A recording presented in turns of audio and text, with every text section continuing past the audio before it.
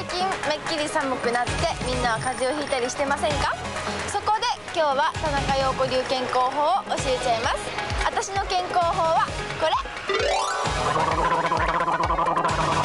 家に帰ったらまずうがいをします。これはめんどくさい時もあるけど結構効きますよ。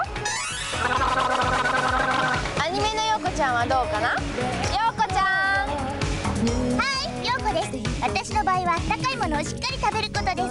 あったかいぜんざいやラーメンにこのニットあられのちょっと小丸を入れて3分待てばほらお餅がこんなに美味しく食べられます。そしてこれはお湯につければ3秒でできるお餅しゃぶしゃぶ。鍋料理には最高です。お母さんに作ってもらってね。